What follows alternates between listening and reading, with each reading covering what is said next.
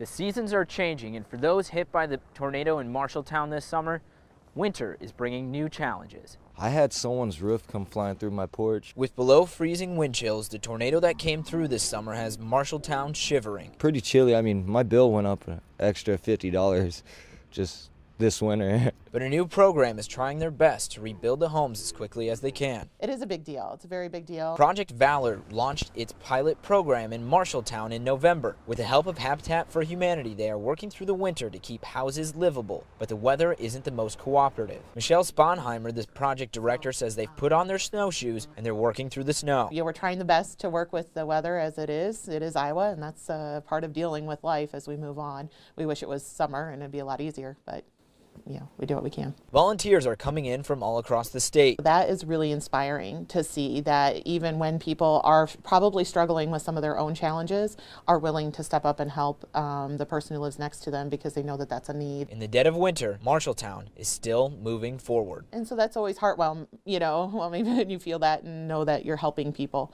Um, that's a big part of why I do what I do. Reporting in Marshalltown, Beau Bowman, KCCI 8 News, Iowa's news leader.